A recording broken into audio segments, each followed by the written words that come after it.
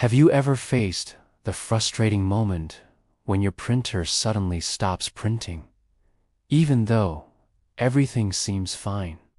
Don't panic. Here's a quick fix that works almost every time. First, restart the print spooler service on your computer by pressing Windows plus R, typing services, C, and locating print spooler. Then click Restart.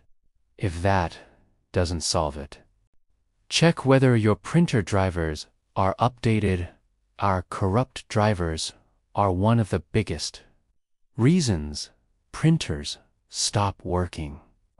Simply go to your printer manufacturer's website or use Windows Update to install the latest driver. Finally, reconnect your printer and plug the USB cable or disconnect the Wi-Fi. Wait a few seconds and reconnect again.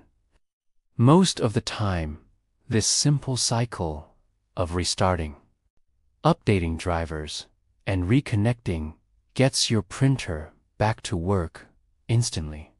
Try these steps and you'll save yourself from unnecessary stress and expensive repairs.